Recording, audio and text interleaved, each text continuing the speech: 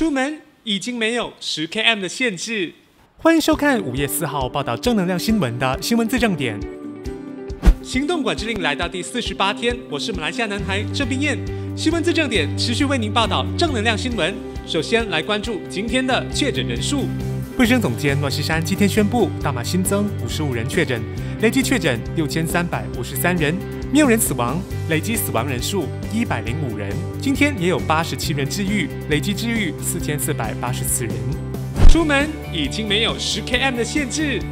国防部高级部长拿督斯里伊斯麦沙比里指出，目前已经没有只限方圆十公里的行动限制，至于跨州行动依然被禁止。不过五月七号到十号。可以豁免让滞留在家乡者回到工作的地点。鼓掌送餐员精神可嘉。这位送餐员是一位很典型的马来同胞，说话声音很热情，但是他的手不见了，而且是两只手掌都没有了。那一刻我愣住了，然后眼睛一直上下打量。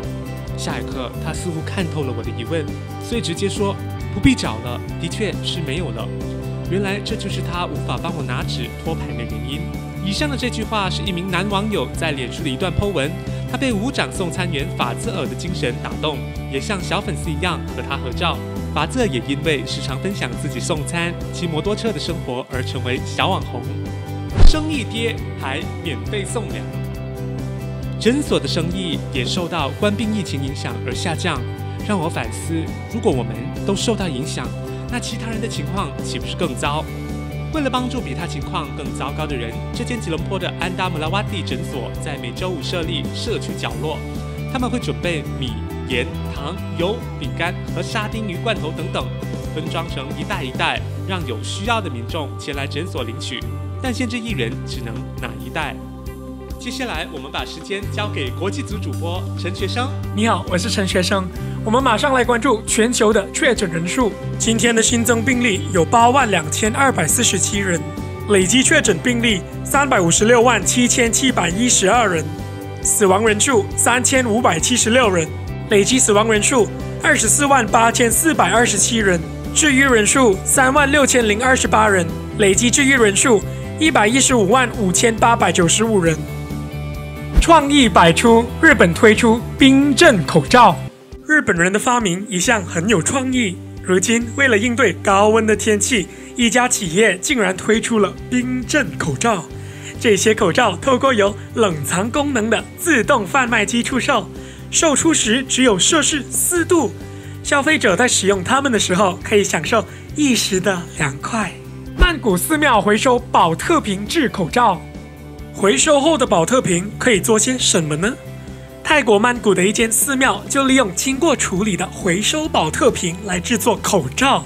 疫情爆发后，寺庙大方的把口罩免费送给其他寺庙，展示守望相助的精神。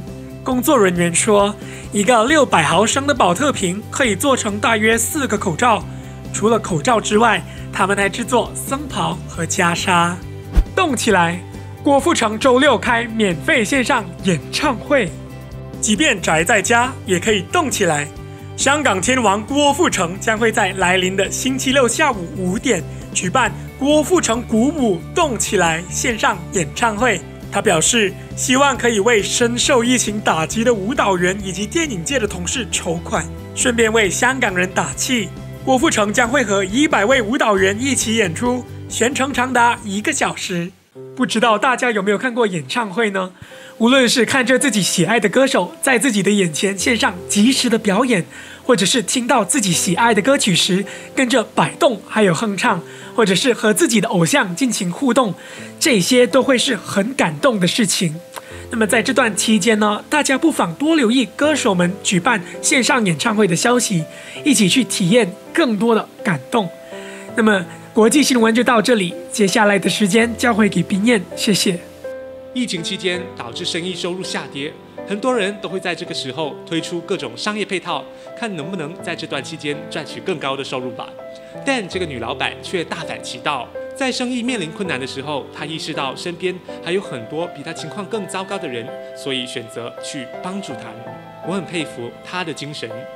这段期间大家真的辛苦了。我知道我的观众群里有很多都是学生。我希望呢，大家可以享受你们的快乐求学时光，因为大人的世界真的很不容易。这段期间，我真的体会到了穷人的痛苦，所以呢，在我有能力的时候，我一定会想办法去帮助更多更需要帮助的人。感谢您收看今天的新闻最正点，愿老天保佑你平安健康。我是马来西亚男孩郑平燕，我们明天见。